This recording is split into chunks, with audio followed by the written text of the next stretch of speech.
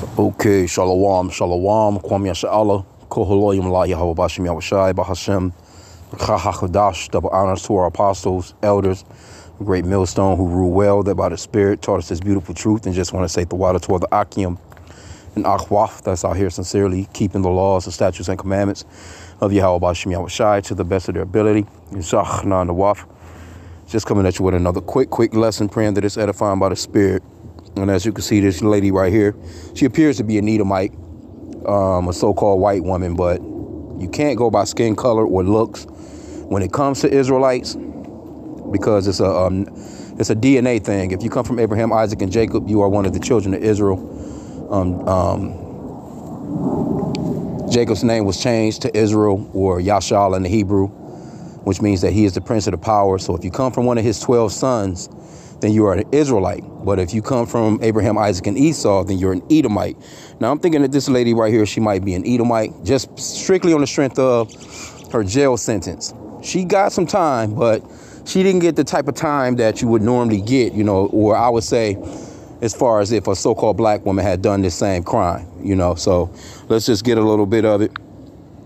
And, and, and it's crazy, man, that women will use these children to really mess with the man, man. You know, if you hate your your your spouse, man, why, why would you take it out on your on your seed? Why would you take it out on your children? Okay, it says no, no, no. Woman lashes out in court during sentencing for two for murdering her two daughters to to spite her Navy pilot ex-husband.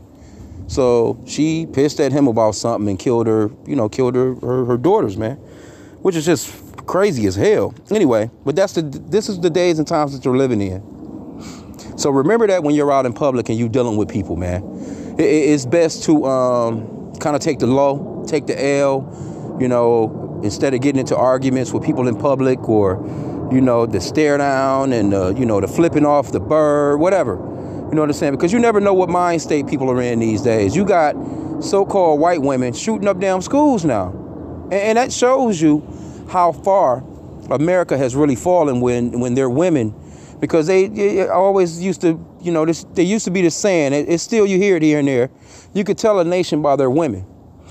And when your women are running around shooting up goddamn schools and killing kids, and because see, this never would have happened 30, 40, 50 years ago, you know, when the so-called white woman had the house with the white picket fence, you know, with the cherry pie and the window sill cooling off, you know, dinner, you know, was being served. You know, the, the, dad get off from work, you know, he gets served his dinner. He's sitting there and he's got his leg crossed, uh, reading his newspaper, smoking his pipe or cigar. And, and, and, you know, just everything is just good. You know, the dog is laying there on the floor. You know, he gets up, wags his tail and, you know, walk along with you. You know, them, them nice walks in the yard. No, this place is through. It's none of that no more, man. The women of this nation are, are out of their goddamn minds, man. And I, I know some. You know what I'm saying? I know some women that used to be completely sane and now are completely out of their fucking mind, man. Like for real, for real. I'm talking about in literal darkness. Straight up. Like, you know, just really just you think that they was like, what happened to you? You know, you used to be so, you know, intelligent and, and, and, joyful. And now it's just like, you know, motherfucker bugging out and talking to themselves. I'm talking about for real. So it's a lot of different stuff that's going on in these Americas because this is a wicked place, man. This is Babylon the Great. That's why the scripture talks about coming out of her, coming out of this place because it'll destroy you with a sword destruction. It will, man. You can even see countries that's overseas, Eastern countries or whatever, you know, that used to have it together somewhat. Now they're losing it because they're trying to be Americans. Look at the women in those other countries, man, that's running around in Iran. They don't want to wear their hair coverings no more. They want to shake their asses. They want to have on tights and, and do what the American women are doing. And, and, and it's just out of control. Look at the people all that's protesting all over the world. What are they? Pro- the, most of the protesters are women protesting over women's rights and, and we want to do what we want to do. They don't understand it that that just it shatters a nation. They don't understand that. Because they're drinking of that wine of Babylon, you see? But let's get a little bit of this. It says Veronica Youngblood, whoo, what a name, Murder her daughters, Brooklyn Youngblood, five years old, and Sharon Castro, 15 years old. Now the Castro, I don't know, might be sounding like, hey, they could be, um, who know, could be Israelites. It says jurors sentenced Veronica um, Youngblood up to 78 years in prison. That's the reason why I'm thinking this is an Edomite. Because 78 years in prison for killing two people is no time at all. And and whatever state she is, she's in, and if they have a death penalty, she should be put to death. It says she received 36 years each for the two counts of first degree murder and three years each for two counts of use of firearm and commission of murder. Okay, a judge will hand down a formal sentence. Okay, it says Sharon in Brooklyn are two children that should be alive today, Commonwealth attorney Stephen Descano said in a statement.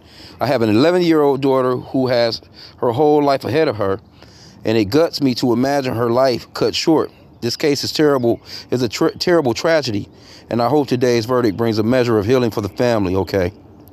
Woman, Virginia, Virginia woman, and convicted murderer Veronica Youngblood, 37, was kicked out of court by for lashing out during her sentencing hearing for killing her two daughters. No, no, no, she shouted. Youngblood reportedly kept ye yelling even as the judge cleared the room. But I'm, I'm shit, hell, I'm, what the hell are you yelling about? Uh, you ask me, your ass should have at least, I mean, if they weren't gonna kill your ass with the death penalty, you, she should have at least got life. 78 years? Man, it's man, psh, come on, man. It's Jake out here in jail longer than that, ain't killed nobody. For real, it's so-called blacks in jail right now ain't killed nobody. Got far more time. Than, that's just like that guy that just got off. Um, they, you know, he was exonerated. He, they, they, they gave his ass 400 years, man. He had 400 years for for being a, supposedly a getaway driver, and come to find out, it wasn't even him that was um that done the crime. And I think he done like 40 years, man. He done like 40 years in jail, man, for just supposedly they said they thought he was a getaway driver to a crime. He killed nobody. But see, that's what I was saying about why I'm thinking this might be an Edomite, because these Edomites, they don't get the type of time that um, so-called blacks get for the same crimes. All right, it says um, she fatally shot let me see. Jurors in Fa Fairfax County convicted Youngblood on Wednesday for two counts each of first degree murder and felony firearm use. She fatally shot Brooklyn and Sharon on August 5th, 2018, at their apartment. And see, come on, man. 2018, man, it's almost 2024. See, Esau Edom with the drag out, man, with these damn crimes, man. You know these people being done these crimes. You got all the evidence in the world, and you dragging these damn cases out for years, man. Them motherfuckers sitting on death row, man, 40, 50, 60 years before they give him the business, man. don't make no sense. Okay, it says, um, okay, it says Brooklyn was shot in the head and died at the scene. So the five-year-old was shot in the head. Sharon, despite suffering gunshot wounds to her chest and back, managed to call 911 and revealed that her mother shot her. She died at the hospital. Prosecutors say that at the time Sharon Castro was calling police, Youngblood left a message for her ex-husband, Ron Youngblood, telling him that she shot their children and that she hated him, according to prosecutors at the trial. See that? So she gave up the, she didn't straight told, you got all the evidence that she shot and killed the children. Why she, you know, only getting 78 years? That's why I was saying about, I know that this got to be an Edomite. It says the suspect, 33-year-old Veronica, Veronica Veronica Youngblood was found in whatever county this is. Uh, uh, police knocked at the door. According to the prosecutor, she killed her children to get revenge on her ex, who was planning to move to Missouri with their young daughter, younger daughter. This person wants to manipulate. This person wants to lie into chaos, all for this person's personal gain. Miss Youngblood is spiteful, selfish, vengeful, and calculated. Of course she is. Authorities said defendant Youngblood purchased the gun nine days before the killings, intending to use it on her daughters. That's crazy. She gave them sleeping pill gummies before the incident. God damn. So that's how you know this is a Edomite, man. That, that right there says it all. It says Youngblood pleaded not guilty by reason of insanity. There you go. Of course, that's what they all, they, they use that every single time. The defense brought up allegations that relatives subjected her to physical, even sexual abuse when she was growing up in Argentina. So she could be an Israelite. She could be an Israelite. Pre- um, pregnant at 16, she ended up going into sex work to take care of her younger sister and raise Sharon. The defense reportedly said she met Ron Youngblood through sex work and the couple married in 2009. Brooklyn was born in 2012. Yeah, so this is a, a total twist up here.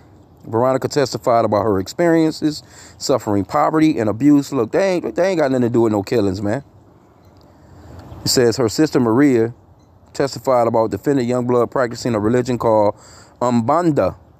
Umbanda, whose believers thought they could communicate with the dead. Hey, that might have been a fucking problem right there. Because, hey, you, hey, you can't be out here, especially if you're an Israelite, hey, you dealing with these false gods, even if you're not an Israelite. You know what I'm saying? But if you're an Israelite, man, hey, the Lord, hey, he's not dealing with that. He said he'll have no other gods before him, right? It says, um, I don't live in a world where there is black and white. Uh, I live in a world where there are a lot of shades of gray, and that's what we're seeing here. Uh, okay, Ron, who had deployed overseas during the relationship, sat in court Thursday as Veronica testified and blamed him for their daughter's deaths. Why did you leave me? Defendant Youngblood called out to him. Man, described the man. They said to describe the man as a stoic. Why did you leave me alone with the girls? None of this would have happened. Ron Youngblood testified about the pain he experienced losing his daughters he spoke of the memorials he built for them in Virginia. Okay, anyway, children are true miracles, the memorial said. Jurors were set to continue deliberating. Okay, anyway, you get it. You get it.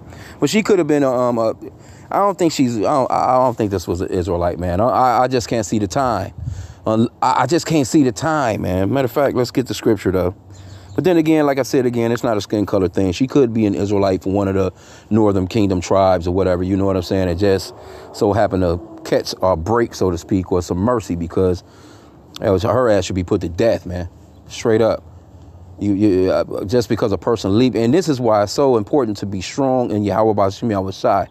Because if a person leaves you, man, you can't just lose your goddamn mind, man. You can't just you just you just just just go all out and just just everything. You just throw everything away, man. Everything away, all because somebody left your ass or you couldn't deal with rejection or something. Come on, man.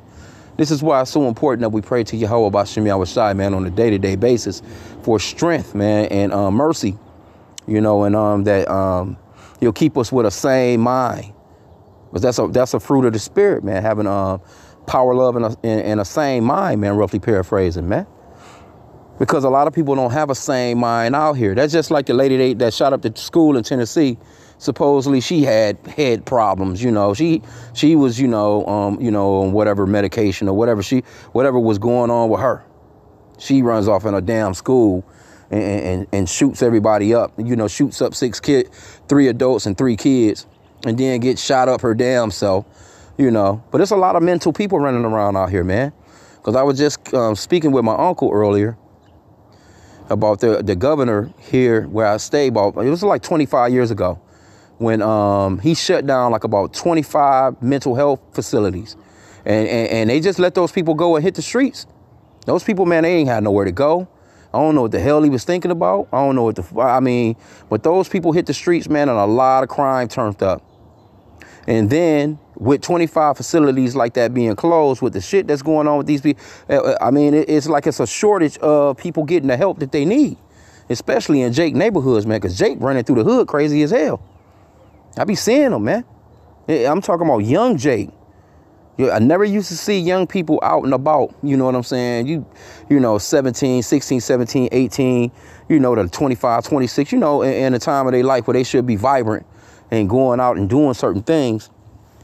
And they just hanging out on the corner, man, bobbing back and forth and shit, talking to themselves, man. Like, you know.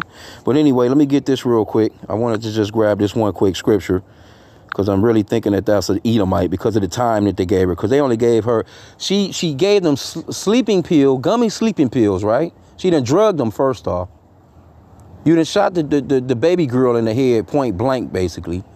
You know, you shoot the, the, the, the, the oldest girl, you know, you shoot her up, and she just so happened to just be alive long enough to tell the police that it was you. So they know it's her. You know full well that lady should have got more than 70 years, 78 years, man. But here we go right here. Let me start at verse 3. Psalm 73 and 3. For I was envious at the foolish when I saw the prosperity of the wicked. For there are no bands in their death, but their strength is firm. They are not in trouble as other men, neither are they plagued like other men. And that's why I was thinking this was an Edomite, because so-called white people, they're not in trouble like other men. They're not plagued like the other races, and especially not like the so-called blacks. Because like I said, had a so-called black woman done this particular crime, come on, man, you know goddamn well, they they they they they had it out for her, for real. They'd gave her all the business. So that's why I'm thinking this might be an Edomite, you know because it's not even about that look, man. That look, she could look like a, a, um, a Edomite all she wants, you know, or, or, you know. But if she had been an Israelite, I don't give a shit if she looked like Sharon Stone. That spirit stands out. She'd have got all that, all the curses, man, that, that comes with um, Deuteronomy chapter 28. Straight up, man. So I just wanted to just touch on this, man. So just like I said again, man, keep on praying. Beware of your surroundings. The brother, he went into a beautiful video today too, talking about, um, you know, being around like-minded people. See, when you're in, in this truth, you in the scriptures, you know, you want to be around like-minded people, man. You want to be around people that, you know, that, that are into this truth as well. It's bet to the best of your ability. Hey, hey, you know, you're going to come across people. You got family members and stuff like that that's not, you know, you may have an old friend or something like that. You know what I'm saying? But overall, you don't want to be influenced by them, man, because them motherfuckers got all kinds of shit going on, man, and they'll get you involved in some shit that you don't want to be in. You know, straight up, it's just that simple, man. Like for real, for real. So with that, I pray that the lesson was edifying. Call me inshallah.